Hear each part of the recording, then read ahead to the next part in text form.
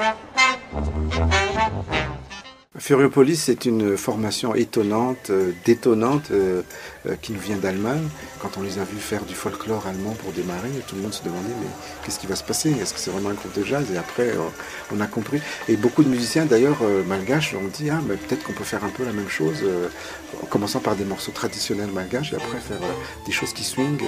Puis vraiment, ils se sont beaucoup investis dans le cadre de ce festival. C'est vraiment un ensemble avec beaucoup de, personnalité, euh, d'individualité, mais qui forme un collectif. Alors quand on pense par exemple à Franck, le, batteur, qui est, vraiment quelqu'un qui, a, montré, dans, notamment dans le cadre des ateliers, que vraiment c'était important la, cohésion du groupe et euh, aussi euh, de, s'affirmer à travers ce qu'on faisait à l'intérieur du groupe. We had these highlights um, at the CGM Institute um, with these people you uh, record.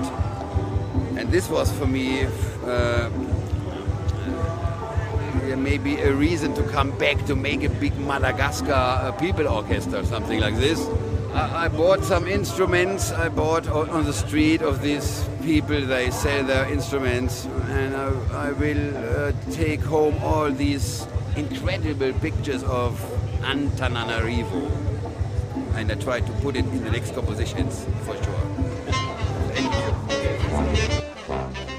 Thank you.